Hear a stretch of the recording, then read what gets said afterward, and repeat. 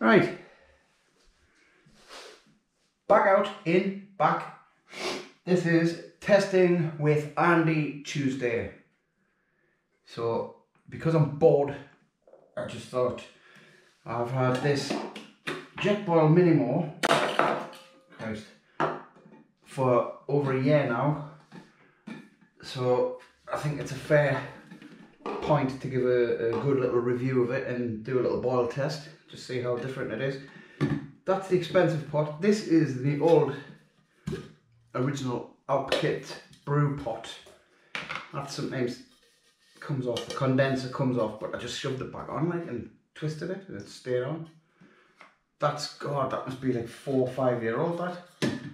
Right, so everybody who wants to buy uh, a cooking pot and you don't want to spend that sort of money, these things, they're meant to come off. You don't want to spend the, the Jetboil more kind of money. I'm going to show you a comparison for this little brew because to be fair, I am a bloody gear snob. I just bought this because it was cheap. It was on offer one time, um, I think it was on Amazon. Was, I can't remember. I really can't remember where I got it from but it was only 70 quid. Only. A lot of money really, when you think about it. So what I'm going to do is, I'll, uh, I'll show you the difference in weight between the two. So let's say for fairness, right? I mean, that gas goes in there. The gas goes in there. And, oh yeah, I've got the pocket rocket stove for that and this is going to use this stove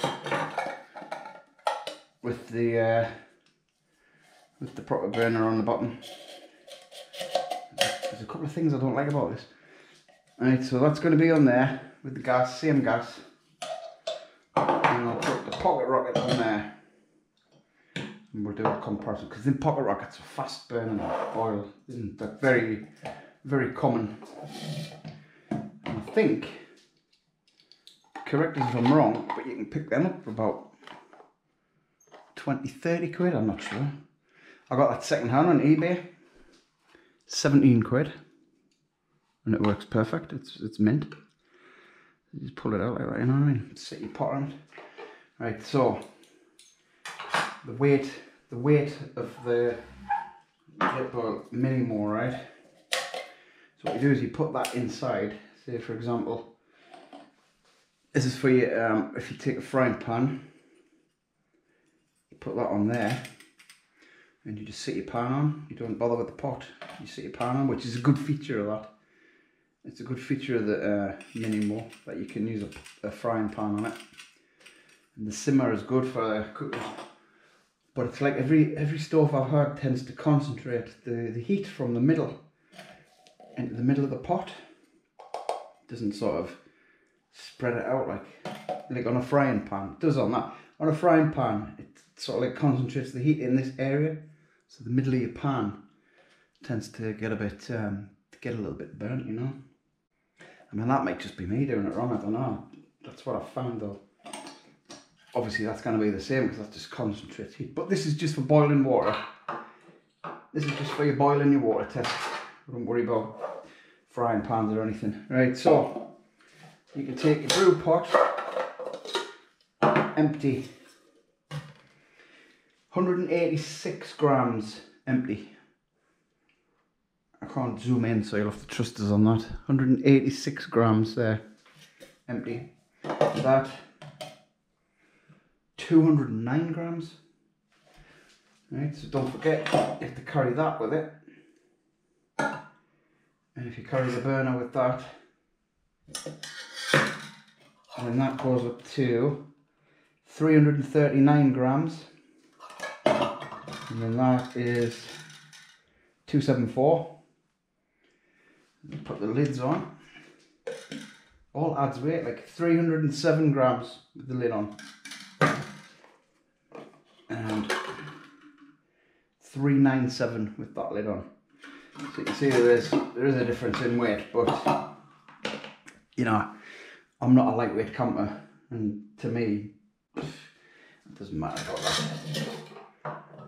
So what I'll do is I'll set these up and then we'll put we'll boil half a pint of water and we'll put the timer on. Read. So what I've done is there's a pint of water in there and there's a pint of water in that one. So we're gonna set them away. Oh, burn, catastrophe. I'll take that off and I'll light this just for.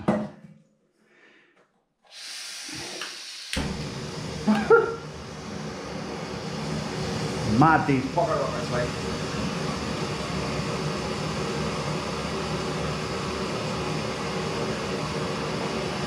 Right, so we'll put the lids on.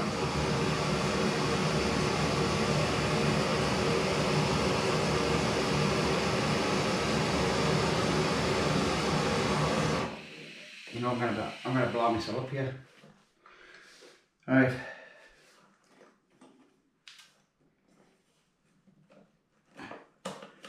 We'll take it off. And we'll get them on.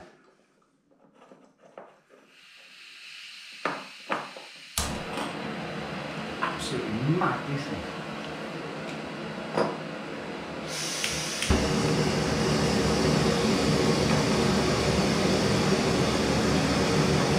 Put it on. Put it on. And we're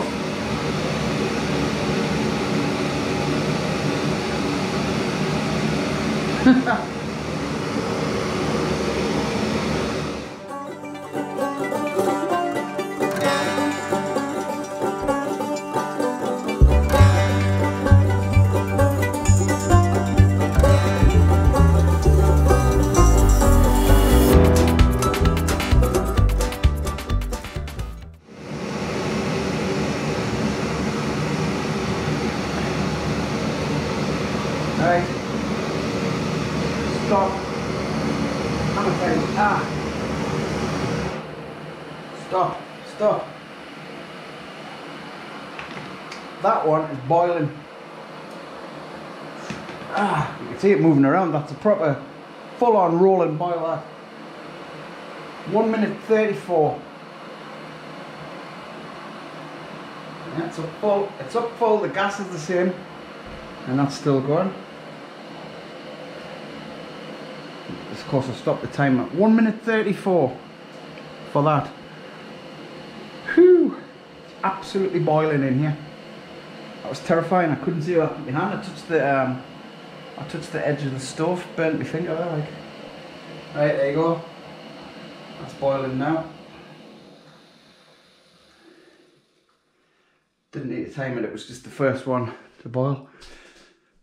So the brew pot and the pocket rocket boiled in 1 minute 34 seconds. 1 minute 34. That one there, that must have been at least another minute. So, you know.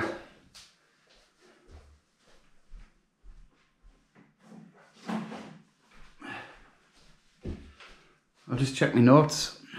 Um, yeah. So that's the brew pot and the Jetboil.